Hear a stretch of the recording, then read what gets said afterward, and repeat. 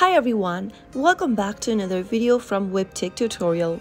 In today's episode, I'm going to be showing you how to change P2P nickname on Binance application. So without further ado, let's get straight into the video. First of all, launch Open Binance application and make sure to log into your account. Once logged in, tap on the Binance icon at the top left. From your profile page, tap on your profile picture at the top of the screen. Now, tap on the pencil icon right next to your name under account info which will then take you to this menu. Scroll down and right where it says P2P profile settings, tap on manage. Once you get to this page, tap on profile at the bottom right and then tap on the pencil icon at the top of the screen. You can now go ahead and set up your P2P nickname and tap on confirm and soon after that, you have successfully changed your P2P nickname on Binance. So that's how easy it is.